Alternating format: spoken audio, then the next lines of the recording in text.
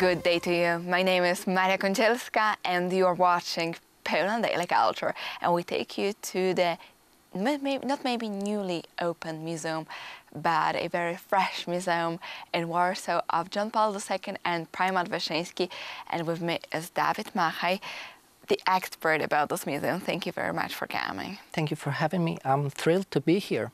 And we continue with the story and we're going through the exhibition in the museum.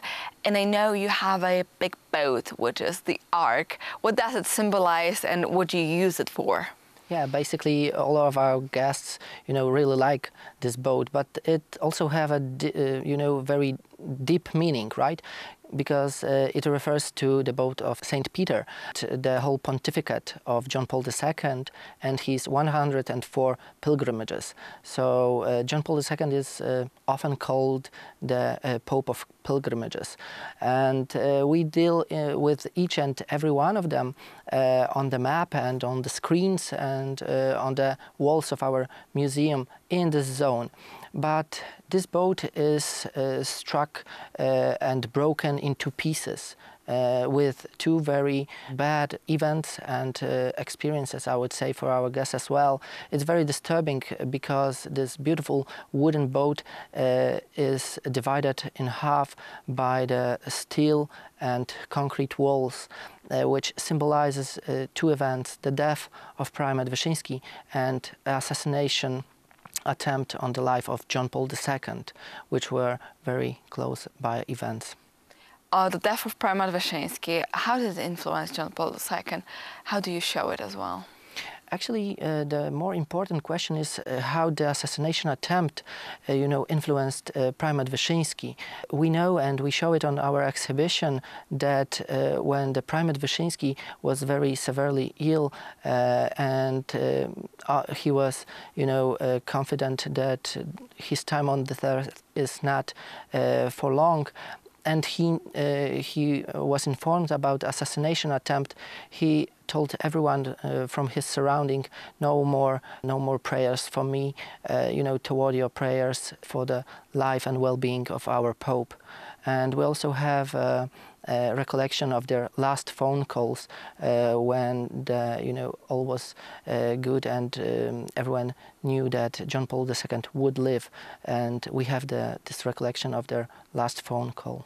And what did they say in the last count? I'm very interested. Know. I don't know. I don't remember, unfortunately. But you can, uh, you know. Here we have an honest guess. yeah. This is the first time anyone talks on uh, that he doesn't remember. But that's of course an invitation to all of the viewers of Poland Daily. If you are interested, go and hear yourself what John Paul II and Primate Wyszyński told to each other in the last phone call.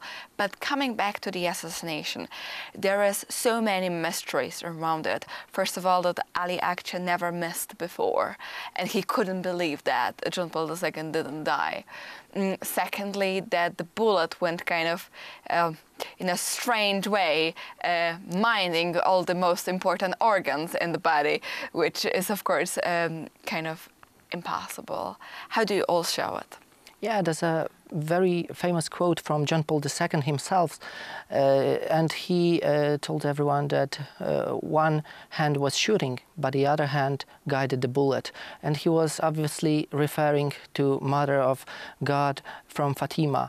And he later on uh, placed the bullet from the assassination attempt in the crown of the figure of the um, Holy Mother in, in Fatima, so in yeah. Portugal, where um, Maria or uh, Our Lady of uh, Fatima was coming to those three children, yeah. telling about the future of the world as well, and of course asking for prayers. And John Paul II was this pope who started to fulfill the requests uh, which they heard there. Yeah, actually, uh, the message from Fatima had a deep um, impact on John Paul II and his pontificate, and it was recalled in this uh, quote I, uh, you know, earlier told. Uh, but also uh, we have a movie clip of uh, Sister Faustina, uh, who was saying Rosary for the well-being of John Paul II after his attempt, after the failed attempt on his life. but what is even more important, we have a drop of blood uh, of John Paul II uh, in the form uh, of uh, medical supplies used uh, for administering uh, saline after the assassination attempt in Gemelli Polyclinic. So, so in Gemelli Polyclinic in Rome, where uh, of course the Pope was taken just after the assassination, and where they served li- his life. Yeah, little known fact that uh, that John Paul II was brought to uh, this clinic uh, in an uh, in a new ambulance, which uh, was previously you know blessed by him, and he blessed the ambulance, the driver, and the first you know patient who was going to be transported with this ambulance. He didn't know that he was blessing himself. Very interesting, amazing. Uh, those coincidence of, of those few things put together. But um, as I understand, the relic of the so the blood of John Paul II is not for long there. So anyone who would like to see this in the museum, they need to hurry up. Yeah, please hurry up and visit our museum, see for yourself.